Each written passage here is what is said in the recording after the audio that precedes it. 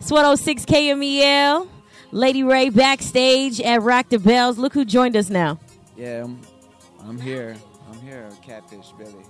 Now, a second ago, you was uh, you was just doing another interview, and he was real, you know, professional with it. We on the couch, we relaxing. You in the Bay Area, you back kind of close to People's Park out in Berkeley in B Town. That's how they do in the Bay. They carry couches everywhere they go. It's like Alabama.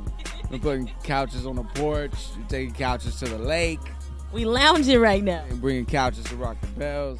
We want you to be comfortable because you just tore it down out there on stage.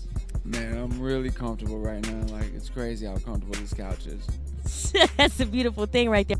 Is there a certain type of lady that would fit into that whole psycho white lifestyle that you got going on right now?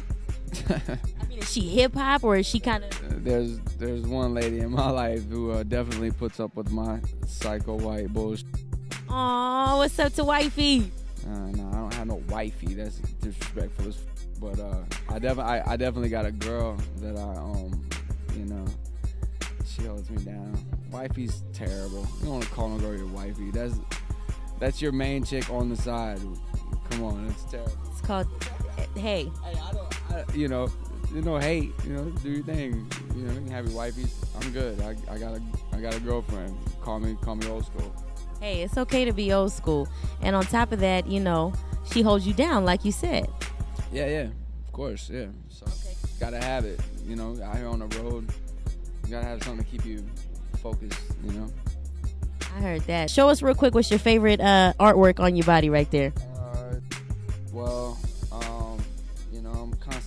Collecting. You know, this was my last piece. You know, it's uh, a cross with Mama's name. You know, the Dixie flag, because you know it was she raised me around the South, of course, all the hardcore Dixie culture that I grew up around. And um, that was my last piece.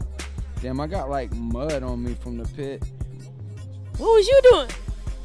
I got, I ran up to the uh, stands. Well, I ran to the grass today at my performance and got pretty dirty. I got pushed down into the mud.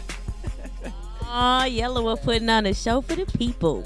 Uh, there it is. They rushing you out, but of course, we appreciate you stopping by to say what's up. Yelawolf, 106 KMEL, backstage at Rock the Bells.